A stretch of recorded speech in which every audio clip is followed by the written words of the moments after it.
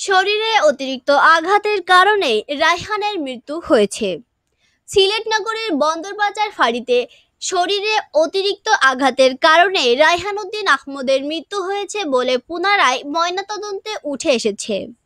আজ বৃহস্পতিবার রায়হানের মরদেহ কবর থেকে তুলে পুনরায় ময়নাতদন্ত করা হয়।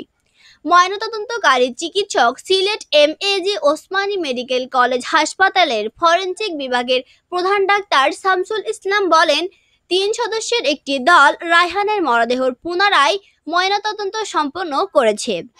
প্রাথমিকভাবে আমরা বলেছি, আসলে অতিরিক্ত আঘাতের কারণেই তার মৃত্যু হয়েছে। এর আগে গত এগারোই অক্টোবর প্রথম ময়নাতদন্ত সম্পন্ন করি এবং প্রথম ময়নাতদন্তের প্রতিবেদন আজ আমরা কোতোয়ালি থানায় দাখিল করেছি। যোগ করেন চিকিৎসক। এদিকে আজও হত্যাকারীদের গ্রেপ্তারের দাবিতে বিক্ষোভ, মিছিল, সমাবেশ ও মানববন্ধন হয়েছে সিলেট নগরীতে। আর ছেলে হত্যার বিচার চেয়ে জেলা প্রশাসকের কাছে স্মারকলিপি দিয়েছেন নিহত রায়হানের মা সালমা বেগম। এই সময় তিনি আসামি পালিয়ে যাওয়ার ব্যাপারেও প্রশ্ন তুললেন। সালমা বেগম বলেন, আমার ছেলেটারে বিনা দোষে এনে মাইরা ফেলছে। আসামিরে বরখাস্ত করা হয়েছে। তিনি পালিয়ে যান কীভাবে? এ সময় তার কোলে রায়হানের দুই মাসের শিশু সন্তান ছিল।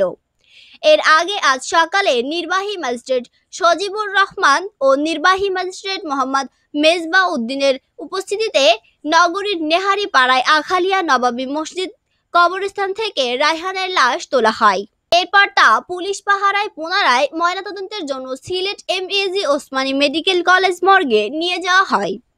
সিলেট নগরের আখালিয়া এলাকায় নেহারিপাড়ার মৃত রফিকুল ইসলামের ছেলে রায়হান উদ্দিন আহমদকে গত শনিবার রাতে বন্দরবাজার ফাঁড়িতে নির্যাতন করে হত্যা করা হয় বলে পুলিশের তদন্তে বেরিয়ে এসেছে। পরের দিন রোববার সকালে তার লাশ পায় পরিবার।